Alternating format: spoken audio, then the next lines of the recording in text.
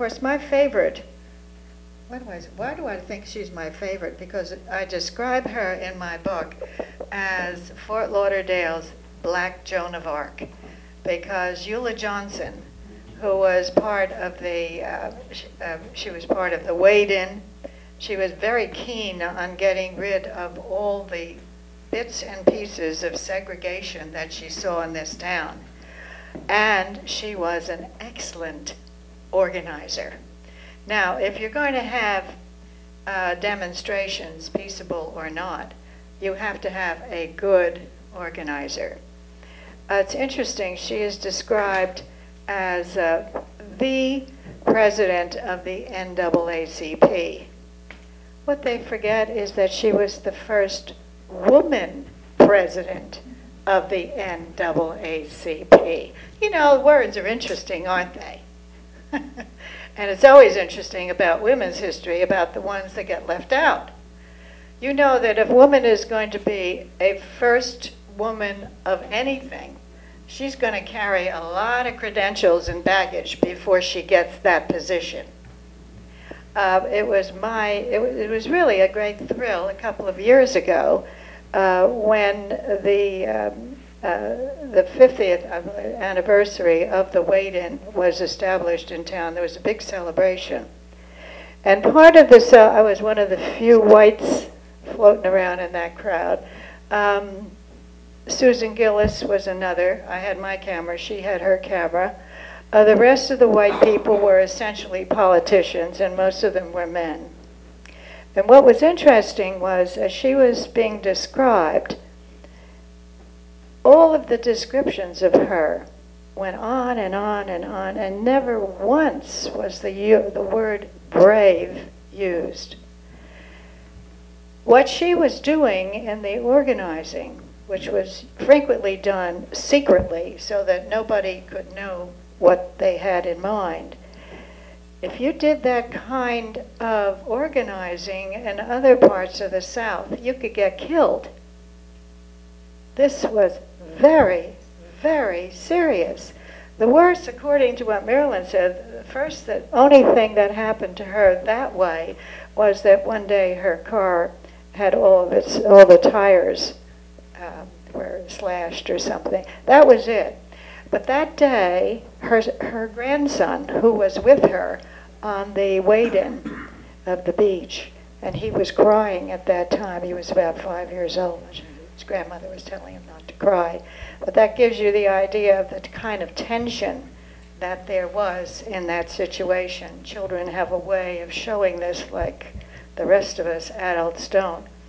And he was talking about his grandmother that day um, at that celebration. And my grandmother, she got those telephone calls. Boy, she got those telephone calls.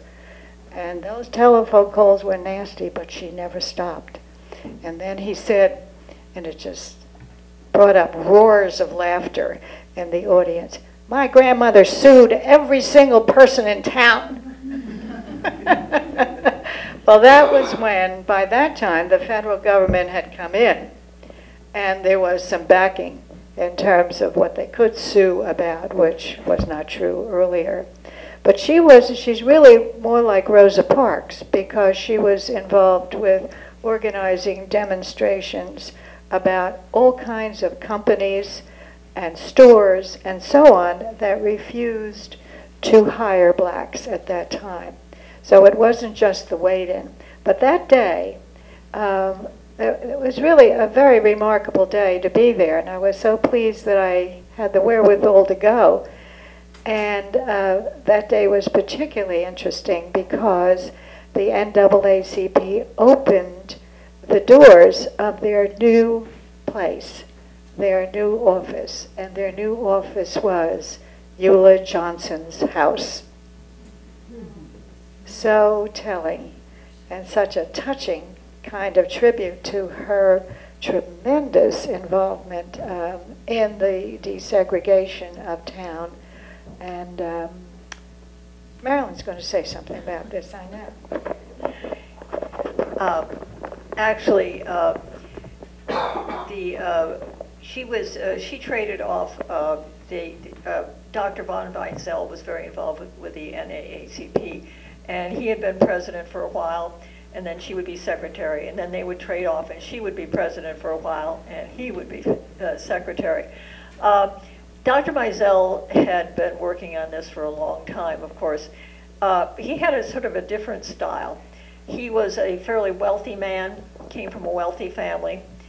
Uh, he could more or less talk on some level with the white establishment, you know, that he could, and he basically had a tendency to sort of use uh, threats in a way, rather than actually getting out and doing something. He would say, listen, if you don't do this, then something, we're going to have to maybe integrate the beach or do something like that.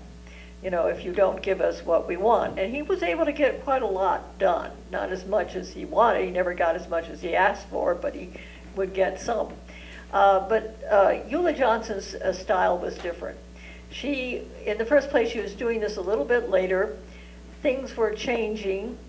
Uh, there was the civil rights movement had gone really national. Of course, it always had been national, but it was often done on sort of low key. People were not paying that much attention to it. Uh, you know, it was keeping it sort of in the background. Uh, whereas uh, now people were going out and they were demonstrating. They were going out there and saying, we don't like this, this has got to change, and we've got to do something different. And that's what uh, Eula Johnson was doing. She said, we've got to go out there and we've got to make our presence known. We can't be just invisible. We can't just step back here and hope we can kind of negotiate something. We've got to really go out there and show them that we can do this. And so that's basically what she was doing.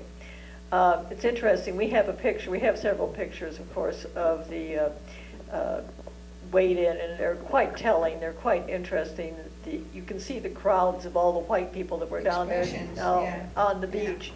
You know, and I mean, it was a very tense situation, you know, you had all of these people were just sort of crowding around, and it was, uh, you know, just these few uh, black people who were, uh, African-American people who were trying to go to the beach and go for a swim. Um, there's a picture that I always thought was uh, uh, one of my favorites of Eula Johnson is when she was coming to, um, I believe, to the police department because she was going to, uh, for a trial. She's accompanied by about three or four young men who are all nicely. I think I have it in Yeah, nicely dressed in their, you know, black suits and uh, ties. Uh, But it's interesting.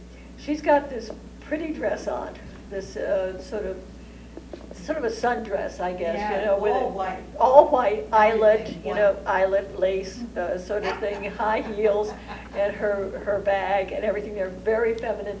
And then you look at the expression on her face. Well, you look at that face. And you can You tell. You ain't gonna mess with that mama. She is. Look at that. She is serious. This is one. What was the date? The date of that, It would, it would have been nineteen sixty, I think it was, about nineteen sixty. I don't know if I That's when the, when the, uh, uh, wade-ins were happening that summer. I don't have, I don't have that They picture. they I don't have that picture dated here. They have, uh, the, the wade-ins, uh, they started July fourth. And as a matter of fact, there were a number of other wade-ins. There were some serious wade-ins up in Chicago, uh, at the same time, the same date. So it was kind of part of a national movement in some ways. And, uh, but then they continued for several, uh, several weekends uh, throughout the summer, until finally the county, I think, decided, well, we're just going to declare all of the beaches integrated. And and that happened sort of at the uh, end of the summer, I think.